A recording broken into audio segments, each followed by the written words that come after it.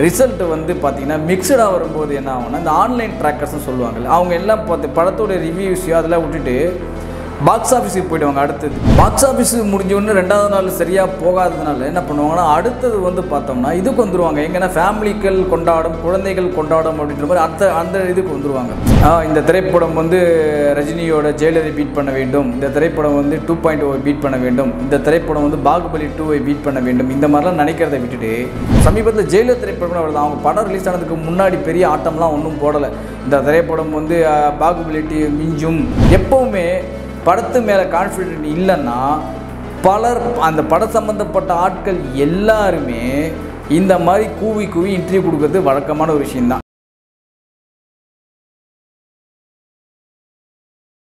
Recent voice நேயர்களுக்கு வணக்கம். நான் சினிமுருகன் லியோ திரைப்படம் என்ன ஆச்சு? பாக்ஸ் ஆஃபீஸில் என்ன கலெக்ட் பண்ணியிருக்கு? ஆள் ஆளுக்கு ஒரு கலெக்ஷன் சொல்லிட்டு இருக்காங்க. சரி ஓகே நாமளும் இந்த படத்துடைய ஒப்பீனியன் வந்து இதை பற்றி சரியாக நம்ம சொல்லலை. ஏ படம் என்ன ஆச்சு? என்ன பண்ணுச்சு? இந்த கலெக்ஷனை பீட் பண்ணிச்சா? அந்த கலெக்ஷனை பீட் பண்ணிச்சா? இது வயசில் பீட் பண்ணிச்சா? இது மாதிரிலாம் சொல்லிக்கிட்டே இருக்காங்க. சரி அதெல்லாம் ஒரு பக்கம் இருக்கட்டும். அதெல்லாம் விட்டுருங்க. சார் தமிழகத்தை பொறுத்த வரைக்கும் இந்த படத்துக்கு பல்வேறு சிக்கல்கள் ஆடியோ லான்ச் நடக்கலை. அதுக்கப்புறம் ட்ரெய்லர் லான்ச்சில் நிறைய திரையரங்கில் சில அசம்பாவித சம்பவங்கள். இதையெல்லாம் தவிர்த்து வந்து படம் அதிகாலை காட்சிக்கு பர்மிஷன் கொடுக்கல. ஸோ இந்த மாதிரி விஷயங்கள்லாம் கடந்து போயிட்டு இந்த படம் ஒரு ரிலீஸ் ஆச்சு. ஆடியன்ஸுக்கு பிடிச்சதா இந்த படம்? பொதுவான ரசிகர்களுக்கு பிடிச்சதா? அப்படின்ற மாதிரிலாம் நம்ம யோசித்தோம்னா அதெல்லாம் ஒரு பக்கம் தள்ளி வச்சிடலாம். இந்த படத்துடைய வசூல் எப்படி இருக்குது அப்படின்றத பார்க்கும்போது முதல் நாள் வசூல் இந்த திரைப்படம் நல்லாவே இருந்தது. முதல் நாள் மட்டும் தமிழகத்தில் இந்த திரைப்படம் கிட்டத்தட்ட முப்பத்தி ஒரு கோடியிலிருந்து முப்பத்தி ரெண்டு கோடி ரூபாய் வரை வசூல் செய்துள்ளது. இந்த படம் தமிழகத்தில் மட்டும். இதுக்கே வந்து நான்கு மணி அதிகாலை காட்சிகள் இல்லாமலே இந்த வசூல் கொடுத்துருக்கு. அது ஒரு சாதாரண ஒரு வேலை நாட்களில். இன்றைக்கு முன்னாடி வந்து தமிழகத்தை பொறுத்த வரைக்கும் அதிக கலெக்ஷன் கொடுத்த படம் அதாவது முதல் நாள் அதிக வசூல் செய்த படம் வந்து அஜித் குமார் அவர்கள் நடித்த வலிமை திரைப்படம். கிட்டத்தட்ட அந்த திரையரங்கம் அந்த திரைப்படம் மட்டும் ஆயிரம் திரையரங்குக்கு மேலே தமிழகத்தை வெளியாச்சு. அதற்கு பிறகு வந்து ரஜினிகாந்த் அவர்கள் நடித்த அண்ணாத்த திரைப்படம் வந்து இரண்டாவது முதல் நாள் கலெக்ஷனில் ரெண்டாவதாக இருக்குது இப்போது இந்த விஜய் அவர்கள் நடித்த லியோ திரைப்படம் முதல் நாள் வசூலில் மூன்றாவது இடத்தை தக்க வச்சிருக்கு தமிழகத்தை பொறுத்தவரை. அதாவது அதே மாதிரி விஜய் அவர்கள் நடித்த படங்களிலேயே அதிக முதல் வசூல் செய்த முதல் நாள் திரைப்படமாகவும் இது தமிழகத்தை பொறுத்தவரை மட்டும் இல்லைங்க உலக அளவில் அந்த ரேஞ்சில் தான் இருக்குது இந்த திரைப்படம். பொதுவாக வந்து ஒரு திரைப்படம் வந்து முதல் நாள் வசூல் வந்து பீட் பண்ணிடுச்சு. முதல் நாள் வந்து இங்கே பீட் பண்ணிடுச்சு. முதல் நாள் வந்து அங்கே பீட் பண்ணிடுச்சு. இந்த இவங்க சொல்கிற படங்கள் எல்லாமே பார்த்தீங்கன்னா ஒரு சுமாரான ஆவரேஜ் படமாக தான் இருக்கும். பொதுவாக வந்து சொல்லும்போது ஏன்னா ஒரு படத்துடைய எக்ஸ்பெக்டேஷன் அதாவது என்ன மாதிரி வேணாலும் எக்ஸ்பெக்ட் பண்ணுவாங்க அதாவது எக்ஸ்பெக்டேஷன் உருவாக்குவாங்க எந்த ரூபத்துலையோ எப்படி வேணாலும் உருவாக்கும் அந்த மாதிரி உருவாக்கி உருவாக்கி இந்த படம் ரிசல்ட்டு வந்து பார்த்திங்கன்னா மிக்சடாக வரும்போது என்ன ஆகும்னா இந்த ஆன்லைன் ட்ராக்கர்ஸ்னு சொல்லுவாங்கல்ல அவங்க எல்லாம் பார்த்து படத்தோட ரிவ்யூஸையோ அதெல்லாம் விட்டுட்டு பாக்ஸ் ஆஃபீஸுக்கு போயிடுவாங்க அடுத்தது.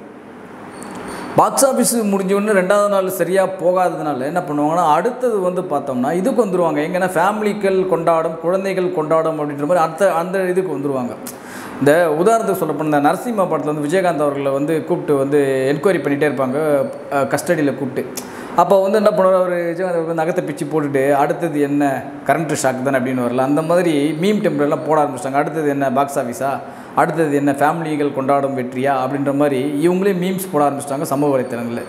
ஸோ ஒரு ஒரு கருத்தை வந்து முன்வைக்கிற என்னென்னா ஒரு நடிகர்கள் மட்டும் இல்லைங்க பல எல்லா நடிகர்களுக்குமே என்ன முதல்ல முன் வரணும்னா தரமான ஒரு நல்ல படத்தை ஒரு ஆடியன்ஸ் எல்லா தரப்பு ஆடியன்ஸும் அக்செப்ட் பண்ணுற மாதிரி ஒரு படத்தை கொடுக்கணும் அப்படின்னு எய்ம் பண்ணுங்க ஃபஸ்ட் ஆஃப் ஆல் அதை விட்டுட்டு இந்த திரைப்படம் வந்து ரஜினியோட ஜெயிலரை பீட் பண்ண வேண்டும். இந்த திரைப்படம் வந்து டூ பாயிண்ட் ஓ பீட் பண்ண வேண்டும். இந்த திரைப்படம் வந்து பாகுபலி டூவை பீட் பண்ண வேண்டும். இந்த மாதிரிலாம் நினைக்கிறத விட்டுட்டு நீங்கள் நல்ல படங்கள் தரமான படங்கள் எல்லா தரப்பு மக்களும் வந்து ரசிக்கிற மாதிரி படங்களை நீங்கள் கொடுத்தீங்கன்னா கண்டிப்பாக அது வேறு லெவலுக்கு கொண்டு போய் சேர்க்கும். அந்த படத்துடைய வேடாக்கும் போதே உங்களை கொண்டு போய் சேர்க்கும். அதை விட்டுட்டு படம் வெளியாகிறதுக்கு முன்னாடியே இந்த படம் வந்து கண்டிப்பாக ஆயிரம் கோடி வசூல் செய்யும் ரெண்டாயிரம் கோடி வசூல் செய்யும். கோடிகள் வந்து பொட்டியில் ரொம்பிக்கிட்டு இருக்கு. இதெல்லாம் வந்து சொல்கிறதெல்லாம் வந்து இது பட ப்ரொமோஷனுக்கு இந்த முதல் நாள் கலெக்ஷனுக்கு வேணால் ஒர்க் அவுட் ஆகுமே தவிர படத்துடைய ரெண்டாவது நாள் கலெக்ஷன் மூன்றாவது நாள் கலெக்ஷன் இந்த மாதிரி விஷயங்கள்லாம் நீங்கள் பார்த்தீங்கன்னா படம் எதிர்பார்த்த அளவுக்கு பூர்த்தி செய்யாமல் நீங்கள் சொல்கிறீங்க பாரு இத்தனை கோடியை வசூலாகட்டும். அதில் பாதி கூட வசூலாகிறதுக்கு வாய்ப்புகளே இல்லாமல் போகும். இது வந்து எல்லாமே வந்து ப படத்தை வந்து ஒருத்தனை ரன்னிங் ரேஸில் நீங்கள் ஓட விட்டுட்டு அவன் வெற்றி பெற்றதுக்கு பிறகு கொண்டாடுற சந்தோஷம் நிரந்தரமானதா? ரன்னிங் ரேஸ்லேயே கலந்துக்காத ஒருத்தவங்க நம்ம வெற்றி வெற்றி ஜெயிக்கிறதுக்கு கொண்ட பார்ட்டி வச்சு கொண்டாடுறத நம்ம நிரந்தரமானது நம்ம சொல்லுவோமா? அப்படின்னு நம்ம கேட்டோம்னா கண்டிப்பாக ஒருத்தனை ஜெயிக்க வச்சதுக்கப்புறம் வர வெற்றி தான் ஜெயிச்ச பிறகு வர வெற்றி தான் நிரந்தரமானது. ஏன்னா போட்டியில் கலந்ததுக்கு முன்னாடி நீ ஜெயிச்சிருவே நீ இது பண்ணிடுவே அப்படின்னு சொல்லி கலந்து இது பண்ணுறது என்க என்கரேஜ் வேறு. என்கரேஜ் பண்ணுறது வேறு. ஆனால் பட்டு அதை நீ வந்து நான் தாண்டா ஜெயிப்பேன் அப்படின்னு சொல்லிட்டு நீங்கள் கொண்டாடிட்டு இருக்கிறது நம்ம எந்த வகையில் எடுத்துக்க முடியுமோ அந்த வகையில் தான் ஒரு படத்தோடைய சில படங்கள் வந்து ப்ரொமோஷனுக்காக இந்த மாதிரி பண்ணுற வேலைகளால் தான் இந்த மாதிரி நிகழ்வுகள் வந்து இந்த ரெண்டாவது நாள் இந்த மாதிரி ட்ராப் ஆகிறதுக்கு மெயின் காரணம். நீங்கள் சாதாரணமாக நீங்கள் ரிலீஸ் பண்ணால் கூட அட்லீஸ்ட் ரெண்டாவது நாள் வந்து ஒரு twenty to thirty percent maximum எல்லா படங்களுக்குமே ட்ராப் ஆக வாய்ப்பு இருக்கீங்க என்ன தான் இதுவாக இருந்தால் கூட. ஆனால் இந்த மாதிரி over buildup over imagination over hype இந்த மாதிரி விஷயங்கள்லாம் கொடுக்குறதுனாலனா அவன் எக்ஸ்பெக்ட் பண்ணி வர்ற ஆடியன்ஸ் என்ன நினைக்கிறான்?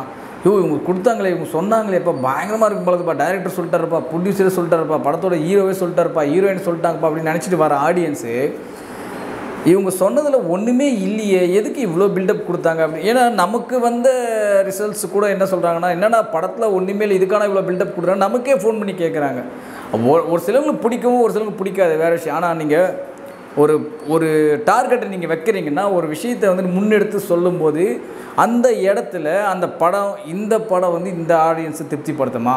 இந்த திரைப்படம் இந்த ஆடியன்ஸை திருப்திப்படுத்துமா? அப்படின்னு தான் நீங்கள் யோசிக்க வைக்கணும். அதை விட்டுட்டு வெளியாகிறதுக்கு முன்னாடியே ஆயிரம் கோடி பண்ணுமா? ரெண்டாயிரம் கோடி பண்ணுமா? அப்படின்னு நினைக்கிறத விட்டுட்டு நல்ல படங்கள் அனைத்து தரப்பு ஆடியன்ஸையும் திருப்திப்படுத்துகிற படங்களில் நீங்கள் வெளியிட்டிங்கன்னா நீங்கள் இந்த மாதிரி ஓவர் பில்டப் கொடுக்க வேண்டிய அவசியமே இல்லை. அந்த திரைப்படம் தானாகவே தன்னை முன்னிறுத்தி நீங்கள் எதிர்பார்க்காத விஷயங்களை விட கையாளுன்றது தான் இது வந்து ஒரு உண்மையான கருத்து. ஏன்னா சமீபத்தில் வெளியான பல படங்களுக்கு நம்ம அதுக்கு உதாரணம் சொல்லலாம். ஒரு பாகுபலி டூவாக இருக்கட்டும் ஒரு ட்ரிபிள் ஆர் திரைப்படம் ஏன்னா ட்ரிபிள் ஆர் திரைப்படம் வந்து காலையில் பார்க்கும்போது அந்த அந்த எட்டு மணிக்கு ஷோ படம் அந்த ஷோ கூட ஃபுல்லாகலை ஸோ ஆனால் அந்த திரைப்படம் வந்து இப்போ நாட்கள் சில சில அந்த படத்தோட டாக்லேயும் அந்த படத்தோடைய ரிவ்யூஸில் பார்த்து அந்த படம் வந்து எக்ஸ்ட்ராடனரியாக ஓடிட்டு இருந்தது.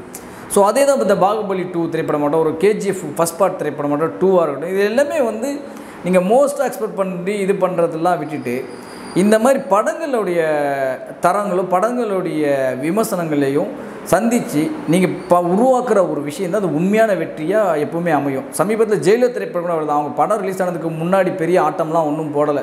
இந்த திரைப்படம் வந்து பாகுபலிட்டி பாகுபலி டி மிஞ்சும் கேஜிஎஃப் டூ மிஞ்சும்லாம் அவங்க எந்த இடத்துல இன்டர்வியூ ஏன் இன்னும் சொல்லப்போனால் அவங்க அந்த படம் சம்மந்தப்பட்ட ஆட்களை ஒருத்தர் கூட இன்டர்வியூ கூட கொடுக்கலங்க. இன்றைக்கி வரைக்கும் எனக்கு தெரிஞ்சு.